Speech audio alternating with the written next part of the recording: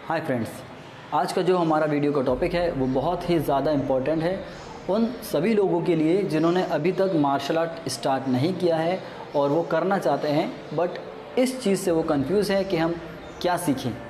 इतने सारे स्टाइल्स हैं, जो नया व्यक्ति होता है, वो तो समझ नहीं पाता है वो कराटे सीखने जाए या बॉक्सिंग सीखने जाए या रेसलिंग करे या टाइकवांडो करे या वेपन्स सीखे, लाठी चलाना सीखे या नानचाकू वगैरह सीखे।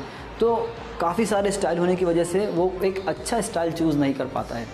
तो आज इन्हीं सब बातों के बारे में आपको जानकारी देने वाला हूँ। सबसे पहले बात करते हैं कराटे के बारे में। तो जैसा कि आप सभी जानते हो कि कराटे वर्ल्ड में सबसे ज़्यादा फ़ेमस और सबसे ज़्यादा फैला हुआ मार्शल आर्ट्स है। स्कूलों में सबसे ज़्यादा कराटे सिखाया जाता है, क्योंकि कराटे जो है, ये फुल कॉन्टेक्ट भी है और स्पोर्ट्स भी है। कराटे को स्पोर्ट्स बनाया तो ये पूरे वर्ल्ड में फ़ेमस हो गया और ख़ास तौर से जो शोतोकान स्टाइल है, उसको खूब ज़ोरों शोरों से वर्ल्ड में फैलाया गया स्पोर्ट्स बनाकर। आज छोटे छोटे बच्चे भी कराटे पंच करते हैं, ब्लॉक्स करते हैं, किक्स करते हैं, वो क्यों करते हैं? क्योंकि ये स्पोर्ट्स कराटे के नज़रिए से उसे फ़ेमस किया गया। अगर आप फुल कॉन्टैक्ट की बात करें तो उससे अच्छी कोई कला है ही नहीं। फुल कॉन्टैक्ट कराटे में बहुत डेडली मार्शल आर्ट्स है। जो एम में है, समझ लीजिए वही फुल कॉन्टैक्ट कराटे है। तो मेरे आपको कहने का ये मतलब है कि अगर स्पोर्ट्स कराटे आप करते हैं तो स्पोर्ट्स कराटे से आप बहुत अच्छा फाइटर बन सकते हैं, अच्छे लेवल पर जा सकते हैं, नाम कमा सकते हैं, पैसे कमा सकते हैं अच्छा क्लासेस वगैरह सब खोल सकते हैं। लेकिन स्पोर्ट्स कराटे में एक कमी ये है कि इसका जो फाइटिंग सिस्टम जो अभी डब्ल्यू के एफ़ रूल्स में जो फाइटिंग सिस्टम है ये है तो काफ़ी ज़बरदस्त, पर इसमें कमी ये है कि ये पॉइंट सिस्टम है। आप फेस पंच करते हैं, लेकिन उसे कंट्रोल करते हैं। आप किक करते हैं बट उसे कंट्रोल करते हैं। क्योंकि अगर आपने किक थ्रस्ट कर दी तो आपको वार्निंग आपने अगर पंच ज़ोर से किया तो आपको वार्निंग आपने कॉम्पिटिटर का दांत तोड़ा तो वार्निंग आपने गलत तरीके से एक गुस्से की भावना से पंच किया या किक किया तो भी आपको वार्निंग मिलेगी। तो एक रूल्स की बंदिश में बंधा रह कर के हम स्पोर्ट्स कराटे करते हैं। इसमें फ़ायदा भी है, बहुत ज़्यादा फ़ायदा है कि हम अपने बॉडी को कंट्रोल करना सीखते हैं, जिस तरह हम चाहें उस तरह उसे मैनेज करना सीखते हैं। लेकिन अगर कोई कराटे प्लेयर आठ, दस साल से सिर्फ़ स्पोर्ट्स कराटे ही कर रहा है तो वो जब फुल कॉन्टैक्ट फाइट में उसे रिंग में छोड़ा जाएगा तो उस समय उसका क्या हाल होगा? तो कराटे बहुत बढ़िया आर्ट है, लेकिन स्पोर्ट्स कराटे अगर आप सीख रहे हो तो उसके साथ साथ आपको फुल कॉन्टैक्ट भी सीखना चाहिए। दूसरी बात हम करते हैं बॉक्सिंग के बारे में। बॉक्सिंग वर्ल्ड का बहुत बेस्ट गेम है और फॉरेन में तो बहुत ही ज़्यादा इसका क्रेज़ है और बॉक्सिंग को बहुत ज़्यादा अहमियत दी जाती है। और बॉक्सिंग बहुत डेडली गेम है। इसमें जो टेक्निक्स हैं पंचेस करने का, ये वर्ल्ड का सबसे पावरफुल टेक्निक्स है, क्योंकि पूरा पूरा का पूरा बॉक्सिंग सिर्फ़ पंचेस पे डिपेंड करता है। पंचेस एंड फुटवर्क वगैरह। लेकिन इंपॉर्टेंट चीज़ है इसका पंचेस जो इसके फोर बेसिक पंच है jab cross and hook and uppercut ये चार पंच को सही तरह से कर लेने से और इसमें बहुत सारे वेरिएशंस हैं। पंच ओनली चार हैं, लेकिन अलग अलग तरीके से इसे किया जाता है तो उसके नाम और काउंट ज़्यादा हो जाता है। लेकिन बेसिकली फोर पंचेज है। तो ये पंचेज अगर आपने सही से ट्रेनिंग कर ली बॉक्सिंग की तो आप मतलब एक पंच बहुत ज़्यादा है किसी को जान से मारने के लिए। तो ये भी बहुत अच्छी कला है और बहुत फ़ेमस भी है और इसके अंदर आप बहुत आगे भी जा सकते हो बॉक्सिंग के अंदर। ओलंपिक गेम में है सबसे पहली बात तो ये बहुत ही अच्छी अच्छा गेम है। अच्छा मार्शल आर्ट है, सीखना चाहिए इसे। और अगर इसके माइनस पॉइंट की बात करें तो उसके अंदर एक कमी ये है कि इसमें किक्स नहीं है और ना ही स्ट्राइक्स टेक्निक्स है।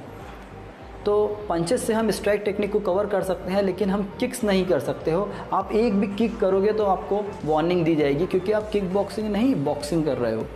तो बॉक्सिंग की कमी यही है कि आप लेग टेक्निक यूज़ नहीं कर सकते हो नी किक यूज़ नहीं कर सकते हो स्ट्राइक नहीं कर सकते हो। गिरने के बाद आप फाइट करते करते अगर गिर गए तो ग्राउंड पे आप पंच ही कर सकते हो, बस उसके अलावा कुछ नहीं कर सकते। आप फिर खड़े होके ही फाइट करोगे। गिरने के बाद आप खड़े होगे फिर पोजीशन में आके ही फाइट करोगे। तो ये बॉक्सिंग की कमी है।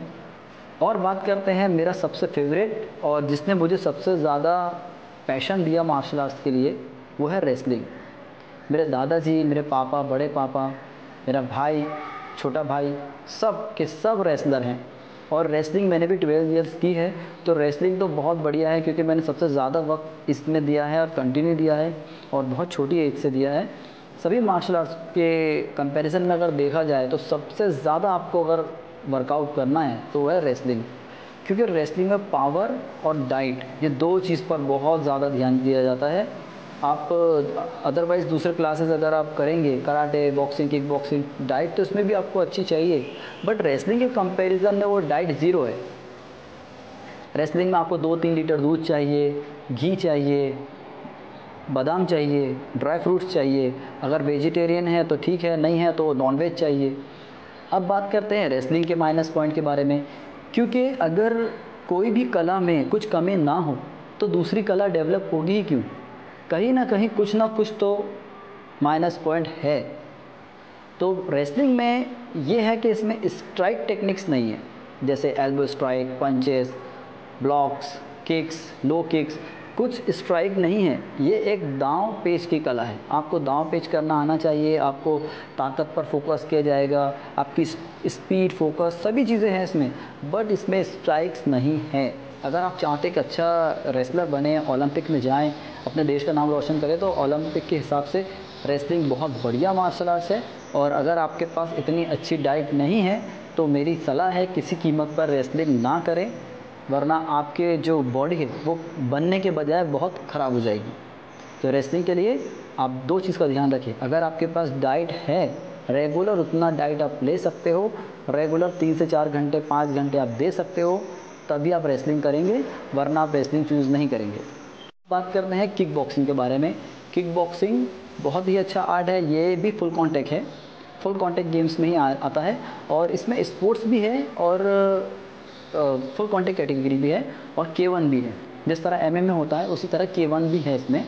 तो एक एक लेवल पर आपको किक बॉक्सिंग के लिए उतारा जाता है स्पोर्ट्स लेवल लाइट कॉन्टैक्ट जिस तरह मैंने किया था, पहले लाइट कॉन्टैक्ट में गया थोड़ा बहुत फटका पड़ता है, फिर धीरे धीरे हम एक एक लेवल पर आगे जाते हैं। अगर आपको लगता है कि स्पोर्ट्स को में स्पोर्ट में और लाइट कॉन्टैक्ट में आप अच्छा प्रदर्शन कर रहे हैं तो आपको लगता है कि मैं नेक्स्ट टाइम इससे हाई कैटेगरी में जाऊँगा। तो इस तरह कैटेगरी होती है, फिर आगे जाकर फुल कॉन्टैक्ट आता है, फिर उसके बाद के वन आता है। के वन कहते हैं नॉकआउट फाइट को। तो के वन में जाने के बाद आप बिल्कुल कंप्लीट है। वहाँ पर आपको एल्बो पाँच सभी चीज़ें करना है। तो ये भी एक बहुत ही बेहतरीन मार्शल आर्ट है। अगर आप एक फुल कॉन्टैक्ट फाइट करना जानते हैं और आप मार खाने मारने से डरते नहीं हैं तो किक बॉक्सिंग भी आपके लिए बहुत बेस्ट है। और बात करते हैं इसकी कमियों की तो इसमें जो ग्राउंड टेक्निक्स है वो नहीं आएगा। यानी गिरने के बाद, ये सब कला ऐसी है कि इसमें गिरने के बाद आप अगर कभी किसी का जुजुत्सु बहुत अच्छा है, जूडो अच्छा है, या उसे लॉक एंड चोक वगैरह करना अच्छा आता है, जैसे नेक लॉक करना आम बार करना तो ये सब चीज़ों में आपको आगे दिक्कत जा सकती है, क्योंकि ग्राउंड टेक्निक बहुत ज़रूरी है। फाइट करते हुए अक्सर व्यक्ति गिरते हैं। अब गिरने के बाद आप खड़े होने का वेट तो नहीं कर सकते तो ये एक कमी आ जाती है इसमें। तो इसलिए किक बॉक्सिंग भी अच्छा गेम है, लेकिन इसमें ये कमी है। इस बात का ध्यान रखें।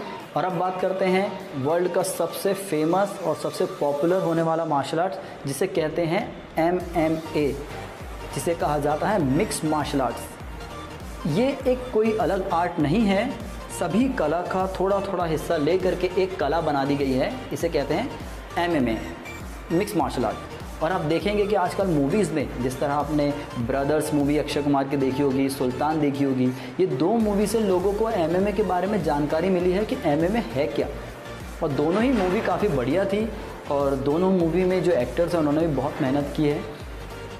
तो इसमें आप सोचिए, एक बॉलीवुड स्टार एमएमए तक के कैसे पहुँच गए? उन्हें कैसे पता चला कि इस टॉपिक पर मूवी बनाएँ? वो इसलिए क्योंकि एमएमए जो है, ये बहुत हाई लेवल पर है वर्ल्ड में। और इसके कोच कहीं जल्दी आपको मिलेंगे नहीं, क्योंकि कोच को उतना अनुभव चाहिए। आज साल, दो साल करके कोई भी कहीं कराटे क्लास खोल के खड़ा हो जाता है, कराटे सिखाने, वो कहाँ से एमएमए करेगा? इसमें जो आपका कोच है, उसका एक्सपीरियंस देखा जाता है, उसने कितने साल इसमें लगाया है, कितने साल उसने बॉक्सिंग सीखा है, कितने साल किक बॉक्सिंग सीखा है, कितने साल रेसलिंग सीखा है, तभी तो जा कर के वो एमएमए करेगा। उसको अनुभव नहीं रहेगा, वो आपको एमएमए में कैसे भेजेगा? और वो उल्टा सीधा यूट्यूब पे देखकर अगर आपको सिखा देगा तो रिंग में जाने के बाद आपका सर नहीं फाइट करता है फाइट आपको करना होता है। इसलिए एमएमए के लिए सबसे इंपॉर्टेंट है एक बहुत ही प्रोफेशनल और टेक्निकल कोच जब तक आपको एक अच्छा कोच नहीं मिलेगा, आप एम एम ए नहीं सीख सकते और नहीं कर सकते और इसे करना भी नहीं है। सबसे पहले आपको एक अच्छा कोच ढूंढना है, जिन्हें एम एम ए का काफ़ी ज़्यादा नॉलेज है। और जो एम एम ए किया है जिन्होंने या वो कर रहे हैं वही आपको ट्रेन कर सकते हैं। एमएमए कर सकते हैं, ये बहुत अच्छा मार्शल आर्ट है और इसमें पैसा, नाम सब कुछ है। आपको हर फाइट के लिए पैसा मिलता है, लेकिन आपको एक लेवल पर जाना होता है। जब आप एक लेवल पर जाओगे, जब लोग आपको पसंद करेंगे, जब लोग आपके लिए टिकट देख कर देखने आएँगे एम एम फाइट्स तो उस लेवल पर जाने के लिए आपको बहुत मेहनत करनी होगी। 10-15 साल आपको देना होगा, तब जाकर एक एक अच्छा फाइटर आप बन पाओगे। तो इसमें मेरे हिसाब से एक भी माइनस पॉइंट नहीं है।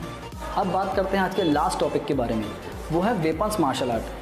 तो इस बात का ध्यान रखें कि वेपन्स मार्शल आर्ट अगर आप सीखना चाहते हो, उसे सीखिए, लेकिन याद रखिए, आप वेपन्स रोड पर लेकर नहीं जा सकते, पार्टी में लेकर नहीं जा सकते, शादी में लेकर नहीं जा सकते, ट्रेन में लेकर नहीं जा सकते, फ़्लाइट में नहीं ले जा सकते हो तो ये भी बहुत बड़ी कमी है वेपन्स मार्शल आर्ट की। सबसे मेन वेपन जो हमारे पास है, वो है हमारे हाथ और पैर। ये वर्ल्ड के सबसे बेस्ट वेपन्स हैं, और इसके बारे में मैं वीडियोस बनाऊँगा आगे कि हमारे बॉडी में कितने पार्ट है और हमें किस तरह इसे यूज़ करना आना चाहिए।